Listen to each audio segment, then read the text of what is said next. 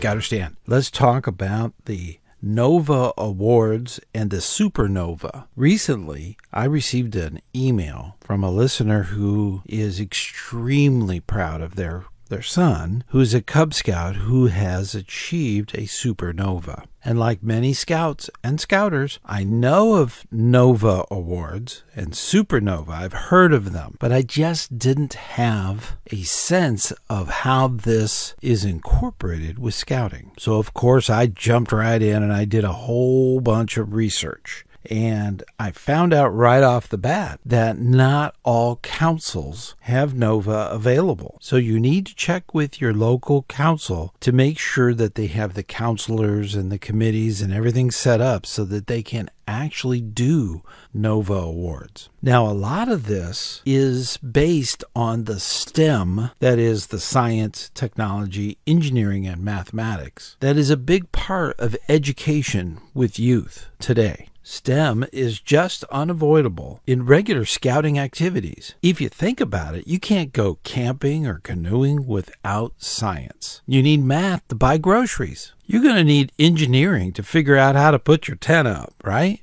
And if it wasn't for technology, we wouldn't even leave the driveway. So STEM is all around scouting in a lot of the things that they do in scouting. Nova Award is the way we recognize excellence in STEM. Now, in scouting, we teach them how to think, not what to think. So we must do our lectures and introductions and then just lead the discussion. It's so important that STEM be talked about on a regular basis with anything that you're doing in scouting, using the scouting program as it is, and just adding on the recognition part of STEM this seems to work best. The four STEM fields have a NOVA award component for Cub Scouts, Scouts BSA, Venture, and even Sea Scouts. When a scout earns the very first STEM award, they get a wonderful patch with NOVA and really cool lettering on the front. The four subjects of STEM are actually on this patch, and this is what they receive on their first NOVA award.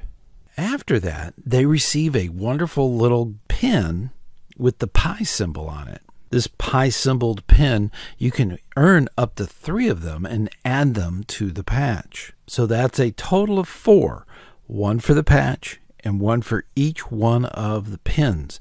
After that, they go into Supernova. The Supernova Awards are named after scientists who were significant in their field. Luis Alvarez is the first scientist uh, that we recognize in Cub Scouts with a bronze medal. Charles Townes is the Webelow Award Supernova. Bernard Harris is the Bronze Scouts BSA Supernova. Thomas Edison is the Silver Scouts BSA Supernova. Sally Ride is the Bronze Venture and Sea Scout Supernova. The Wright brothers is the Silver Venture and Sea Scout Supernova. Albert Einstein is the Gold Scouts BSA Ventures and Sea Scout Supernova Award. Now, that's just some of the basics to get you introduced to the idea of focusing more on STEM now, a long time ago, when I was growing up, it was called STEAM because we added an A for art. And a lot of us still think in those terms. You wouldn't have art if it wasn't for the others. You have to have the whole picture. So art hasn't been removed, it's just